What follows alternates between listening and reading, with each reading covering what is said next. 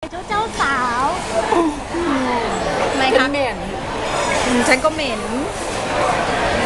จะมาถ่ายกันถ้าเซ่แล้วถ้าเกิดว่าแม่เตรียมเจ้าสาวไว้แบบมีนพิชยาไม่แต่งจริงเหรอ ไม่แต่ไม่ทำไมใครอะจะสวยเขาสวยกว่าฉันถ่ายวิดีโอเก็บไว้ฉันกลัวมากอันนี้น่ากลัวฉันจะส่งไปที่บ้านเออเงี้ยวฉันไม่ชอบคนสวยกว่าจะมาสวยกว่าใช่ฉันค่ะเวลาอยู่กับแม่พี่ทำไงแม่ลูกลูกลูกสาวของคุณแม่ลูกสาวของคุณแม่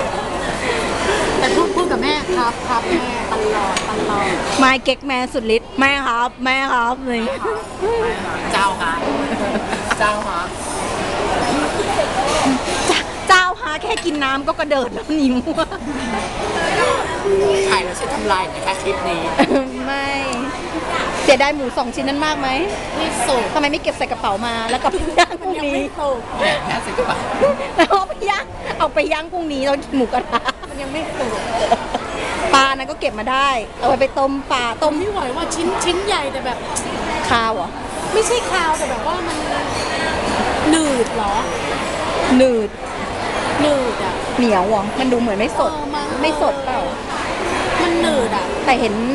เชฟมันไม่เหมือนที่กินที่กินที่ราข้างเมงอะที่ข้างล่างอะเชฟมันก็เป็นมือระวิงอยู่ของมันเหมือนกันนะ